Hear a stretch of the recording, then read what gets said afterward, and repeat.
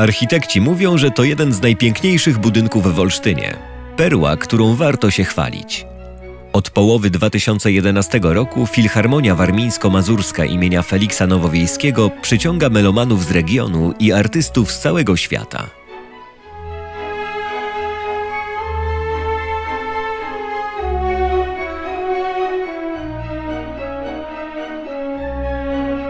W budynku wszystko ze sobą współgra.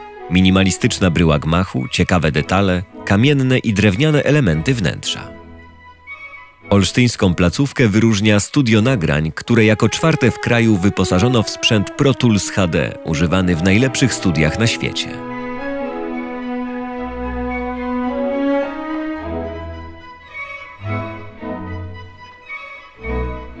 Nowa Filharmonia stała się prawdziwym centrum muzycznym Olsztyna.